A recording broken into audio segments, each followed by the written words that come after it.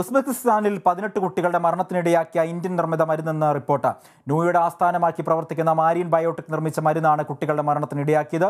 സംഭവത്തെ തുടർന്ന് സർക്കാർ നിരോധനം ഈ മരുന്നിന് ഏർപ്പെടുത്തി. ലോകാന്വേഷ ലോകാരോഗ്യ സംഘടന അന്വേഷണവും ആരംഭിച്ചിട്ടുണ്ട് ഡോക്മൺ മാക്സ് എന്ന കഫ് സിറപ്പിന്റെ പാർശ്വഫലങ്ങളാണ് കുട്ടികളുടെ മരണത്തിനിടയാക്കിയത്.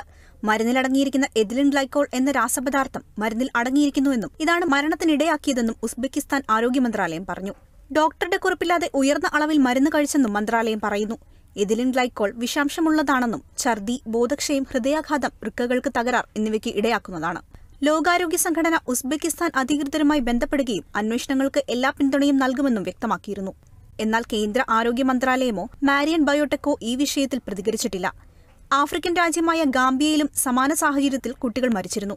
അഞ്ച് വയസ്സിൽ താഴെയുള്ള അറുപത്തിയാറ് കുട്ടികളുടെ മരണത്തിനിടയാക്കിയത് ഇന്ത്യൻ നിർമ്മിത കഫ്സിറപ്പായിരുന്നുവെന്ന് ആരോപണമുയർന്നിരുന്നു ഹരിയാന കേന്ദ്രമാക്കി പ്രവർത്തിക്കുന്ന മെയ്ഡൻ ഫാർമസ്യൂട്ടിക്കലാണ് മരുന്ന് ഉൽപ്പാദിപ്പിച്ചിരുന്നത്.